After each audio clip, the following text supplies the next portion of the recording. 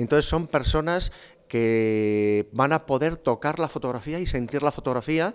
Ahí hacemos un viaje invitando a que la gente toque para que sienta pues, los distintos volúmenes, hay distintas claves, está escrito en braille para saber eh, las zonas que tienes ahí dentro de la fotografía, pues si es un puente, un árbol. Y bueno, y todo esto englobado lo que sería eh, la temática de este año, que se llama Contemplum.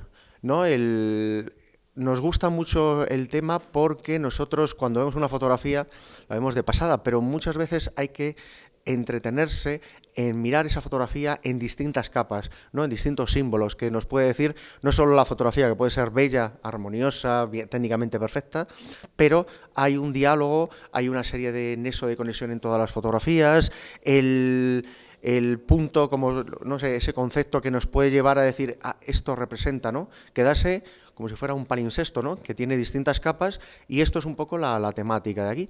Nos quedan todavía otras 10 exposiciones que a lo largo de, de marzo, abril y mayo, pues os vamos a ir indicando.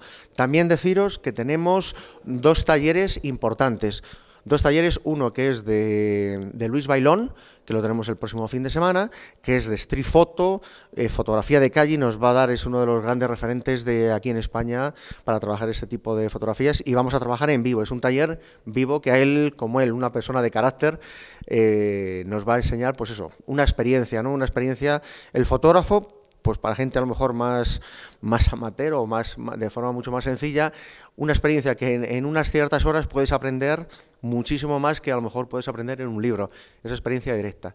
Luego tenemos también otro taller de Bari Caramés el día, el día 19, que todos los talleres sabéis que los hacemos los sábados, todo el sábado completo, y entonces ahí hablamos un poco más de proyecto fotográfico. Ese proyecto fotográfico para cuando tú abordas como eh, una etapa un poquito más profesional y empezar con una temática, tú empiezas a abordar un tema y empiezas a desarrollarle, cómo abordarle, cómo sacar la parte más personal dentro de, de esa fotografía, blanco y negro, color, analógico, lógico, entonces ahí vamos a tener. Y luego tenemos conferencias completamente gratuitas. Los, eh, el primero nos va a dar, Luis Bailón nos da el día 12 una conferencia gratuita, el viernes, y tenemos a García de Marina, que nos da otra conferencia también de muy en la línea de fotografía de poesía visual, y esa va a ser el día 19, completamente gratuitas, aquí en el Palacio de Quintanar.